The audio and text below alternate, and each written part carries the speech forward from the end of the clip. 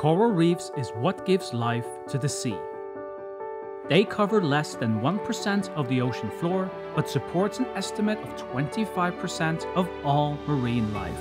These magnificent animals have lived in our oceans for 500 million years, and today they generate half of the Earth's oxygen. But how does coral reproduce and spread across the ocean floor? This is the birth of a reef.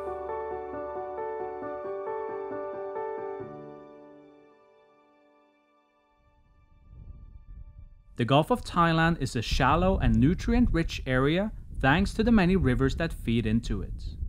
Far into the Gulf we find the small island of Koh Tao. Famous for its rich marine life, scuba divers flock to these shores to visit the many reefs and pinnacles the island has to offer. In one bay we find the Conservation Center RCP, or New Heaven Reef Conservation Program.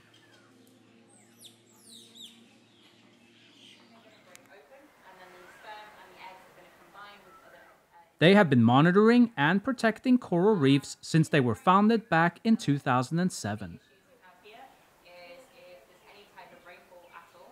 Many students and volunteers visit to learn about and help the reefs.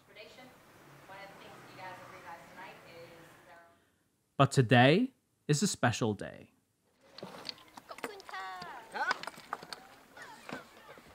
Instructor Kirsty and her team are hoping to witness an event that only happens a few times a year.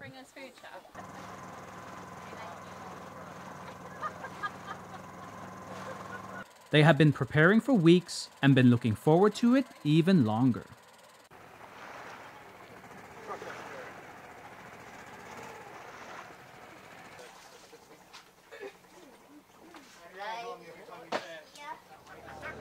The divers are all well aware that this night might be the highlight of their visit to the island. Hopeful and excited, they set out.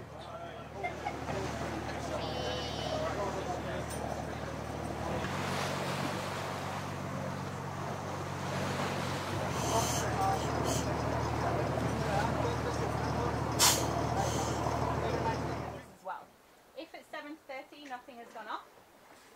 Uh, if we're snorkeling, we'll then do a night dive then, so we'll do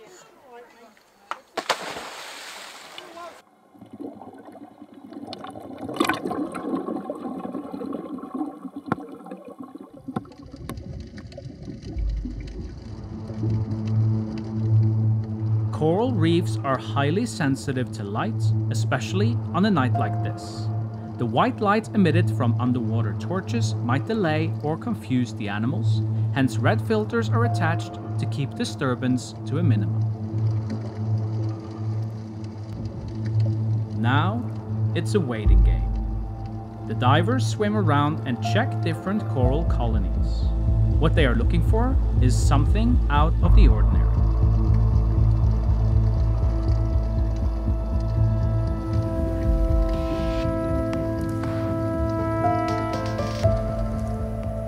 They are not the only ones out. With the events about to unfold, the reef is teeming with all kinds of different life.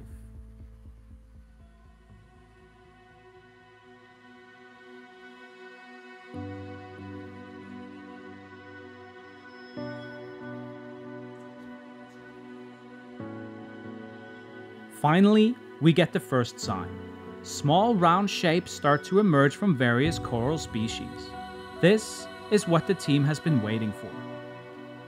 This process, known as setting, is the first step in what is described as the largest synchronous birthing event on planet Earth.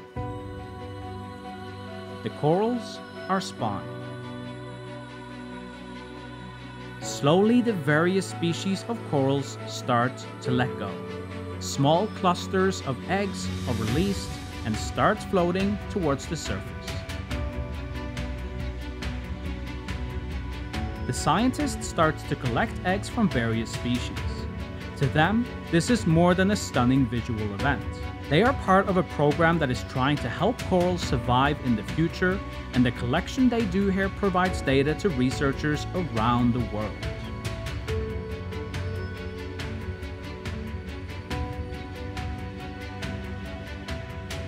As the night progresses, the spawning intensifies. More and more corals are releasing their eggs.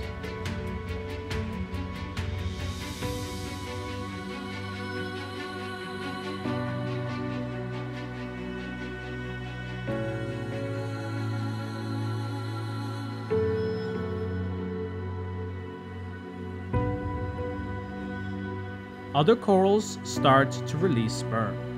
The sperm also floats to the surface and fertilizes the eggs. From here, the fertilized eggs drift with the currents, and a small percentage of them are able to settle on suitable hard substrates somewhere at sea. This is how corals spawn.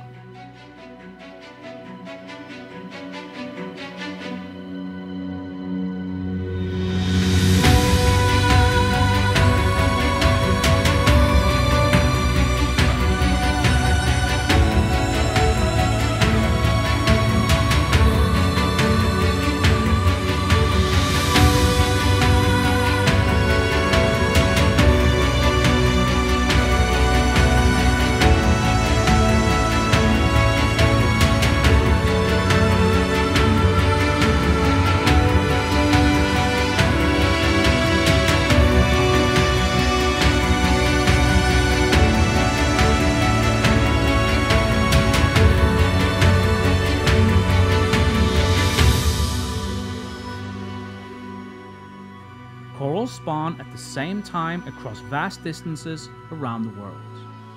It is still a mystery to us how this is done.